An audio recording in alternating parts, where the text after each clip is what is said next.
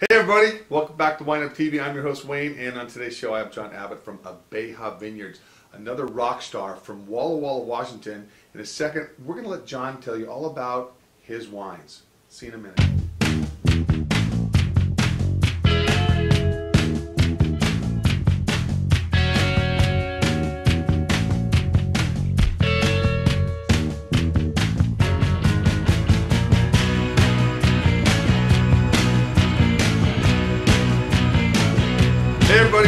Back. Uh, John, thank you so much for coming out to Portland and sitting on the show.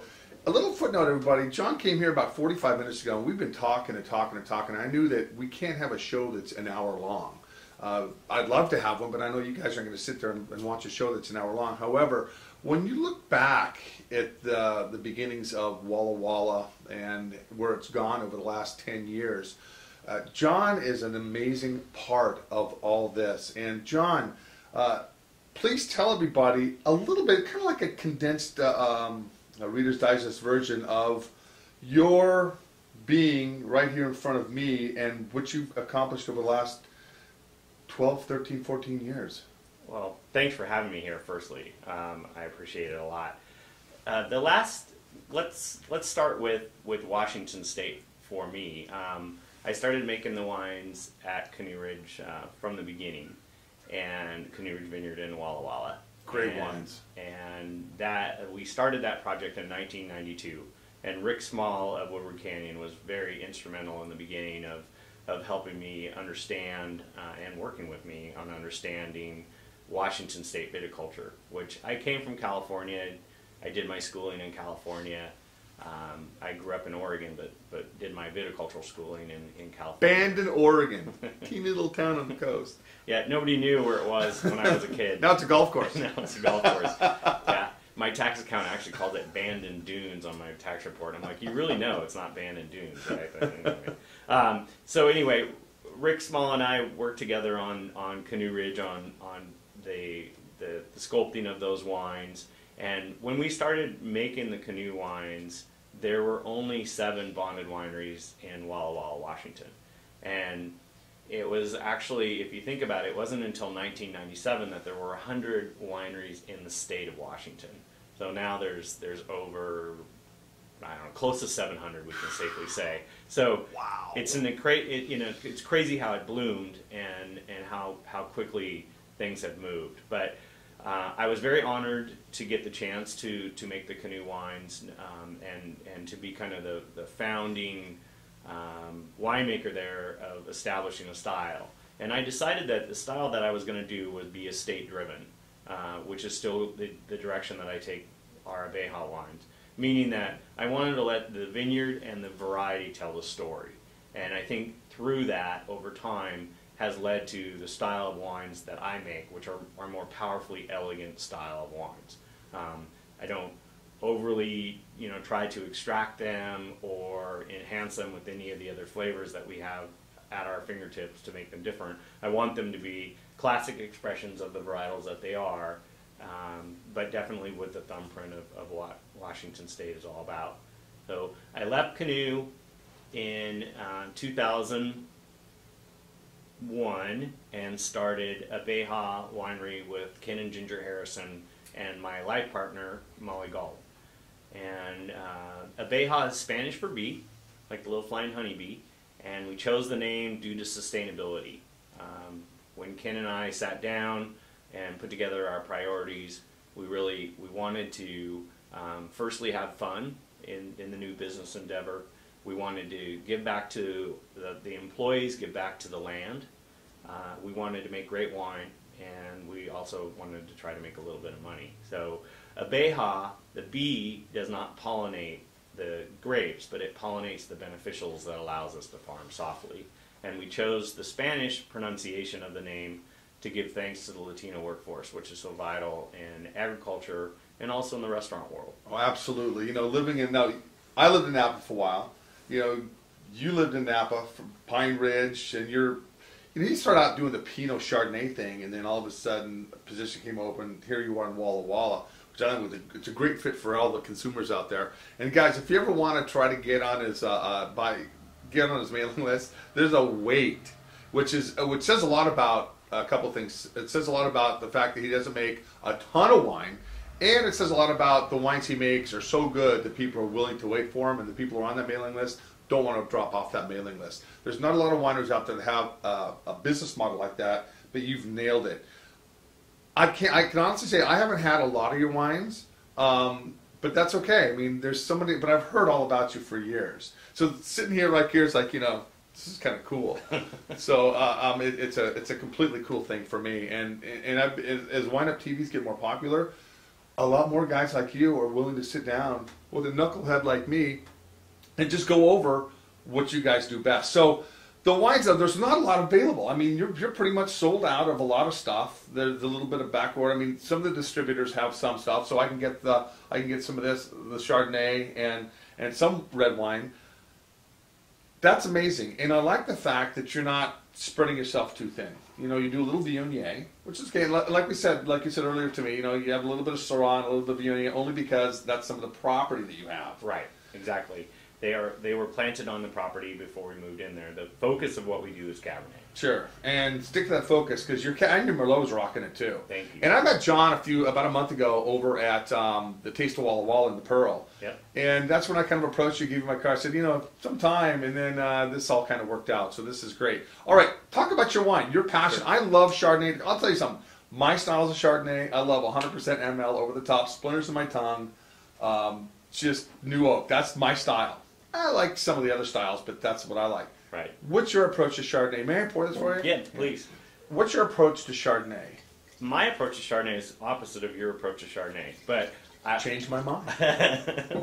I uh, I like I, I love balance in wines. I love acidity. I like them to go with food. Um, not that not that something that can be woody doesn't necessarily go with food, but to me it's it's more of uh, kind of beauty and elegance in the wine that I'm that I'm looking for. And so we didn't pattern this necessarily after a Meursault, but I would say it's more old world Meursault style that I, that I gravitate towards uh, in in what I wanted to make in, in my style of wine. Now, one thing that I, I would like to say is is that I get this all the time. Well, I don't get it all the time, but every once in a while I'll have somebody go, um, "I really don't prefer your wine uh, in a tasting," and I'll and I'll say, "I really appreciate you telling me that." And I said, "But you know, one thing I want to say is is that we're not making milk. You know, wine is not milk. It's not you know two percent homogenized product that should taste the same anywhere in the world." I mean, yes, it's a variety, it's Chardonnay, but there's many different ways of making it, and there should be many different preferences. Otherwise, you wouldn't have all this shelf full of wonderful stuff behind us. You know, you're You'd- right. You'd have one percent, two percent, and whole, and that would be all we would have. Maybe half and half, and that's it. That's, that's it. Yeah. Oh, yeah, You're, you're so right on the money there. And, you know, I tell people, you know, I know what I like. And everybody out there, you guys know what you like. But try all the different wines you can. That way you're going to you're gonna keep refining your palate and find things that you didn't think you liked in the beginning, you're starting to like now. Right. That's a beautiful thing with the palate.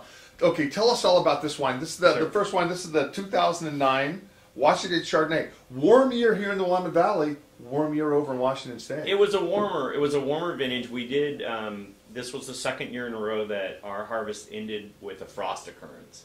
Um, both 08 and 09, um, the hang time was stopped by frost, but the 09 frost wasn't until the, the end of October. So, I mean, definitely for Chardonnay, we, we were done, but um, it was, uh, you know, it was a nice classic vintage. Uh, this wine is mainly Celilo, which Celilo sits on the Washington side of the Columbia River, directly across from Hood River. Uh, it is dryland farmed, so you get a little bit of that really minerality in it of, of the vines reaching into the soil and pulling that character out. Celilo is one of the last vineyards that we harvest, high in acidity, um, which which I really like. It helps us pattern the style of wine that we're trying to make. Uh, typically lower in sugar at flavor maturity, which means it's a little bit lower in alcohol than normal, and low in pH, which I think is the key with Chardonnay is to make low pH style. To make classic Chardonnay, you need low pH. It is barrel fermented.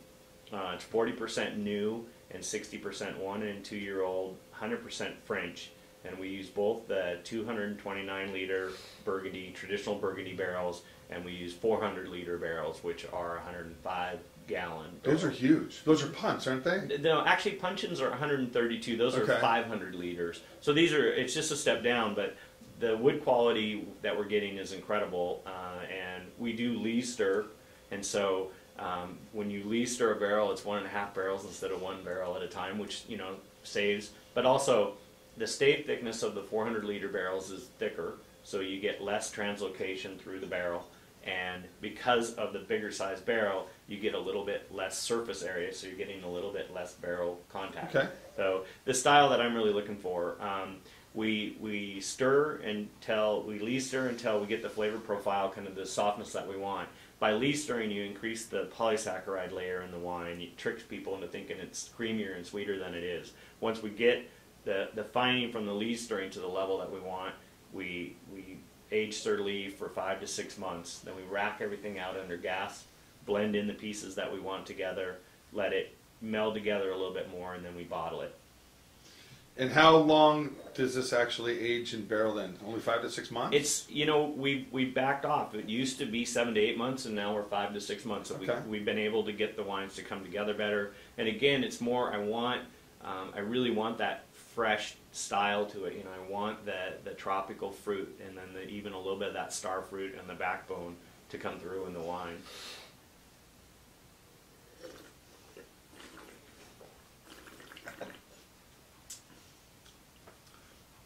Nice and it, it's creamy, but if you're right. It's not good acidity. Yeah.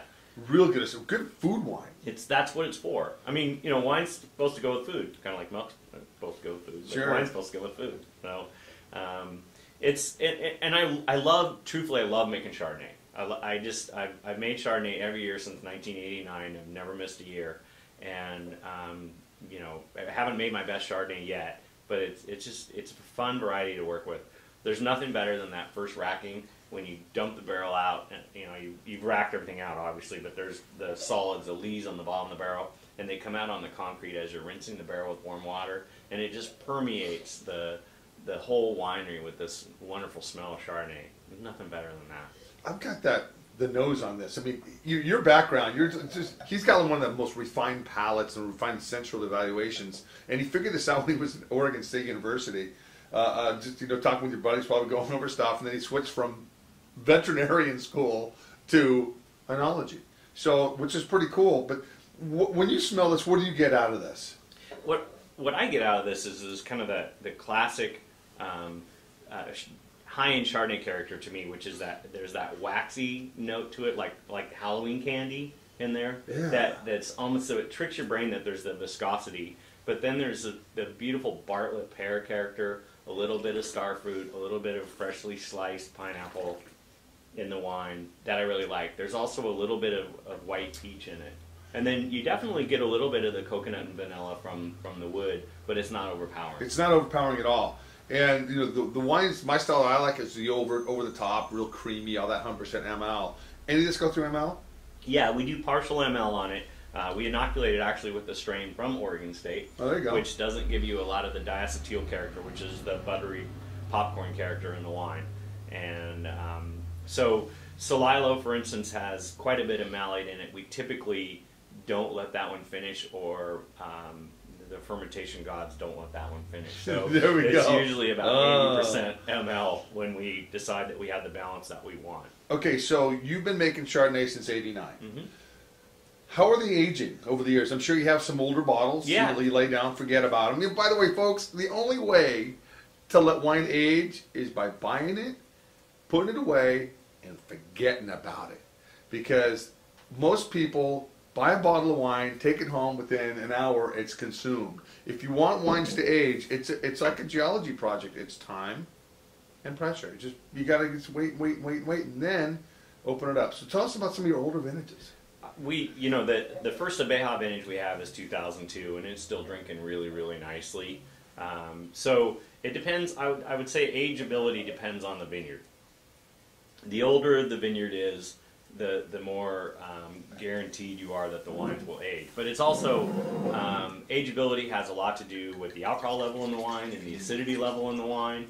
And with ours, the acids are high and the alcohols are fairly low. They age really well, and there's not because of the the lesser amount of wood, typically as the fruit dissipates over time, the wood pops up, and we don't have a lot of wood in there, and so there, it takes a, a lot longer for it to, to really to to show the pronounced character of the wood, or or to get to that what I would call older Chardonnay character, which is that to me it's like the inside when you carve out a pumpkin. Mm-hmm. There's that squashy character that starts in older Chardonnay, which can be beautiful as long as there's acidity in the wine. Sure. And we're not really seeing that um, with with these wines, and a lot of it is a tribute to both the Celilo Vineyard and Conner Lee, which make up 90% of what's in this bottle. Both of them are older vineyards. Celilo was planted in the early 80s, Conner in the early 90s, and, and that helps make up what we're doing with the wine. I would have to say, you know, on, on ageability, I, I appreciate your comments. Is we get this a lot too. Is that people will try the wine and they'll go, "How long will this wine age?" And uh, it's a tough question because everybody has a different palate profile of what of what their definition of age is, and I I typically come back to people and say, "Well, what do you think of it now?" And they go, "Well, I think it's really delicious now." Then I said, "Well, then drink it, and when it's gone, find something else that you, that you find delicious." Because I think we can we can steer our consumers down the wrong road too of saying, "Well, if you think it's delicious now, it's going to be really, really delicious in five years," and it may not be for their. Thank you very much for saying that because I get, note to some of these tasting room staff when you're just telling some of these people that this Pinot Noir will hold up for 10, 15, 20 years. How could you say that? I mean, how? I mean, I understand some may, but Pinots are, I think, more, best consumed when they're younger. Yeah. I don't know. I, I give Slim, for example. I love I love Slim. He, he he does all my recording right behind this camera, right? I'll give him a bottle of wine. I say, dude, lay this down for you know, give give this. To the next day, he goes, man, that was a great bottle of wine. See, he must think it goes home and goes bad overnight. It's like some of this stuff I give it to him. Oh, don't, don't, don't, don't drink it, don't drink it. Save it for a good occasion. I said, well, last night was a good occasion. I had dinner. Well, that was a good occasion. So I mean, it's one, it's one But, those but see, as a winemaker, we really appreciate that because you know it's like when people come come in and they go, "I have a case of every vintage you made." Uh, You yeah. know, you're like, "Well, I really appreciate that, but hopefully you're going to really like them. Otherwise, you're going to be bringing 11 balls back and be complaining at me." So for me, the me the best thing to do is is to tell somebody if you want to age wine, store it in your recycling bin. nice. I like good attitude right there. You know, John's got a great point. If you want, if, if you're buying wines as a collector, uh, get a case or six bottles. And how I used to do it back when I lived in uh, back when I lived in Napa is I buy six bottles of the of a certain vintage, and then I drink one every six months. And I kind of take notes. I'm not a geek by any means, but I had this nice journal. I, I, it, it was exactly six months. I'd have a couple wines within a, within a week or two, and after three years, I knew exactly how that wine was going. Right. Sometimes I was disappointed by case, but most often than not, I was drinking just how I wanted to be drinking, just right there. So it's perfect. All right. Uh, not not to cut the Chardonnay segment out, but let's talk about the next one. Your Sure. first red wine. This is the uh, the Cab Sauv, which is your specialty, 100% Cabernet Sauvignon. The Columbia Valley. Now, guys, the Columbia Valley is about 11.5 million acres, and within that, you have the Walla Walla AVA, and it's one of two AVAs across the state line, of Oregon and Washington. Um, where's your fruit from this particular bottling? Right. This particular bottling, bottling is our Columbia Valley, and actually this one it this one has a few of the other varieties in it. The reserve is 100%. Okay. But that that's fine. Um, we 50% of the fruit that we have is estate fruit, and it's all right around Walla Walla. Uh, we have two vineyards. We have Heather Hill Vineyard, which is on the south side of the appellation, actually on the Oregon side. And then we have Mill Creek Vineyard, which surrounds the winery, which is on the east side of the appellation. The Walla Walla appellation is about 21, well, 28 miles east to west, and about 20 miles north to south. So it's not a huge appellation. It's pretty small compared to like look at Horse Heaven Hills, Right. 127 square miles. It's huge. Right. Yeah, in it's, it's different than that. Um, so this is a blend of Cabernet from from Walla Walla from our two estate vineyards, as well as a, a farming company called Sagemoor that we we purchase a lot of fruit from on long term acreage contract from Bacchus, Dionysus, and Weinbau. There's also some Red Mountain fruit in here as well from um, Tom Hedges. He and I have have um, purchased fruit from one another over the years since actually since 1997. So we have a long history together, uh, and some stuff from um, Corliss's uh, Red Mountain Estate as well in there. Well, let, us uh, uh, interject this really quick. Um, they have long-term contracts. In other words, what John does, he doesn't buy fruit by the ton. He has he had these are like his vineyards that he kind of oversees. They just own the property and grow the grapes. Correct. So you, you're you're basically being the viticulturalist and, the, and telling them, okay, this is what I want to prune, Right. when to prune it, and all this other stuff. Right. They they take any advice you give them, um, and, and As they should. Well, no, they, they gladly look for it because Sure. it, it helps them in the growing season too. But we by growing by the acre, um, for instance, on a cool year like 2010 that we just experienced, if we decide to go to one cluster per shoot. Um, in, in a in a tonnage contract, people would go, no way, we, we don't want to do that because they're losing a lot of their revenue. Or in an acreage contract, you're paying the same amount if you farm one cluster per shoot or two clusters per shoot. Sure. So um, they're they're really they don't qualm about that, and and we've done a lot of um, experimentation of doing um, of looking at rows one cluster versus rows that we leave two clusters in many of our vineyards to see if there is a difference in, in farming quality and grape quality between the two. And we are finding that on cool years you can definitely get a bigger advantage from single cluster fruit just in more concentration. And granted, it costs you know more per acre because you get less gallons per ton. Sure, absolutely. All right, talk about this wine right here that we're Sure. drinking. What's in it? So this this is the focus of what we do. This is our Columbia Valley Cabernet, and this is our brand new release. The 2008 is is 90% Cabernet Sauvignon, and there is 7% Merlot in there, also from the Sagemoor Farming Group, and there is 2% Petit Verdot in there from Red Mountain, and 1% Cabernet Franc uh, from a vineyard called Weinbau, which is over in Mattawa on the uh, Wahluke Slope. Okay. So everything is handpicked. Um, we bring it in. It, it runs across a, a shaker table where we sort clusters. We take out anything that's overly ripe or underripe. But the, the crews do a great job when they handpick um, on on fruit like this. It then is destemmed but not crushed, and then it falls onto a secondary shaker table which has a screen on it. So many of the shot berries, which are the little tiny berries like BBs, fall through. Stink bugs, so there are a few of those that come in. They typically fall through. So all we have left are the jacks, which is kind of like the little game where you bounce the ball and, and you have the, the piece of the rachis that looks like a jack. We pull those out because if you stick those in your mouth, they taste like when you bite the end off a banana. It coats your mouth with tannin and gives you a character. I don't want that in the wine because it, it lends to a green tannin character. So after that shaker table where we pull that type of stuff out and any green berries that came through, the fruit falls back into the same bins that we pick into, and then we rotate those bins into our open top fermenters. And the largest open top fermenter we have at Abeja is five tons, so everything is really small. Um, and, small fruit, and that allows us to work with different strains of commercial yeast. Yeast early on can give you different flavors, just like spices in the kitchen. And we also, starting with 07, have increased a bit on our native yeast by isolating through um, samples some some yeast from the vineyard and growing those up, and then inoculating what we feel is a pretty pure culture of that into into certain lots, and we're doing some native fermentation, which gives you a bigger, complex mouthfeel, which you can actually taste in this wine. As well. Fantastic. Let's give this a little swirl. One thing I noticed right off the bat is the nose. It's just, it's just, it's inviting. It's just. Describe that to me. Well, this one is really really fun, and it's easy. It's easy to describe. Where I think your viewers would understand too. This is the first one, to me, the first Cabernet that I've made where it has the classic great vintage Bordeaux characteristics to it. It has, you know, in the aroma, there's definitely a little bit of the saddle leather. There's a little bit of cigar box. There's a little bit of tar in there. And it's interwoven and interlaced with the red fruit and blue fruit and the acidity of Washington State.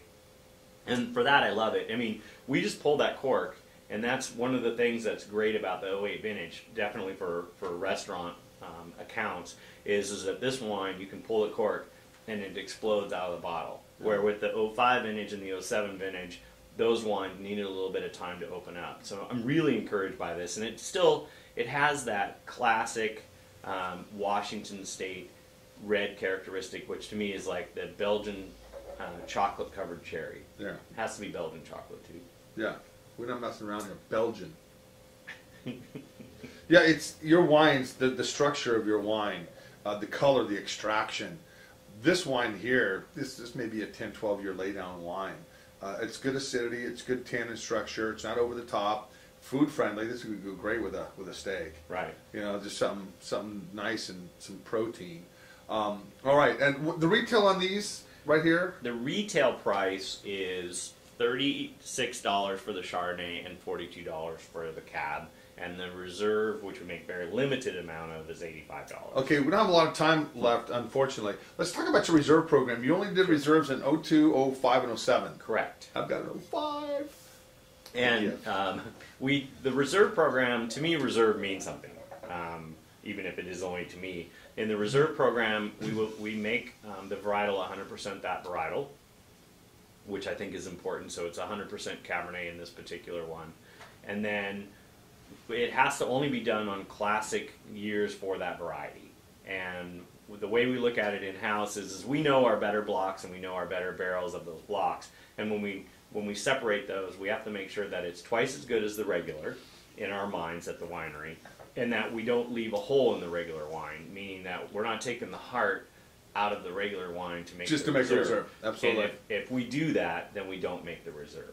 So I'm, you know, I am a big believer uh, in delivering a lot of quality at every price point that we have, and I, and I and I know that that's part of what's made Beja successful is is that um, we are delivering a lot of bang for the buck at every price point that we're giving, and I want to continue to do that And as long as we can. You're not over the top. I mean, if this is ever available, the reserve, 80 bucks a bottle? Yeah, 80, 85 retail. You know, and I'll tell you, when you, when you stand this up to, to, to some of the Napa Top Guns down there, um, I don't know, 80 bucks is a deal. It's a deal. The problem is, is you're only making how many cases of this on a given, on, on a reserve? Four to five hundred cases. That's nothing. Yeah, we and we. It's not much. No. Um, no, the focus of what we do is is the Columbia Valley, and we will have with the 08 vintage, we will have a Walla Walla Valley from uh, our estate Heather Hill Vineyard coming out, which is kind of our our new our new baby in the lineup. Exciting. Exciting It's stuff. very exciting. All right, everybody. Hey, uh, guys, what a treat today to have John Abbott on on the show. And what's your website? My website is abeja.net. Abeja.net. So anybody, if you guys want to see exactly what he's doing, um, Walla Walla, not only is it town tonight, and they named- named it twice, it's a great place to vacation, and it's a great place if you're a foodie and a wine guy. John, thank you so much for been- stopping by. Rockstar It's- status, only on My Wine pleasure. FTV. All right, guys. Remember, a couple glasses of red wine every day, white wine, pink wine, or sparkling wine. Cheers, John. Cheers. Thanks. Thank you.